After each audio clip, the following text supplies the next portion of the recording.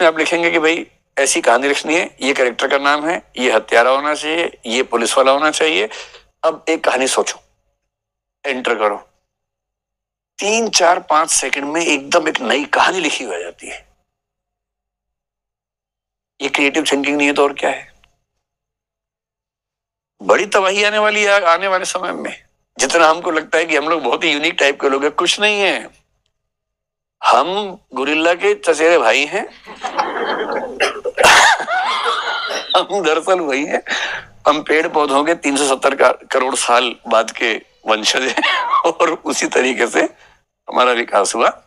तो कॉन्शियसनेस की पूरी स्टडी फिलोसफी में जब करते हैं, इसको बोलते हैं साइकोलॉजी मन क्या है? बुद्धि क्या है? मस्त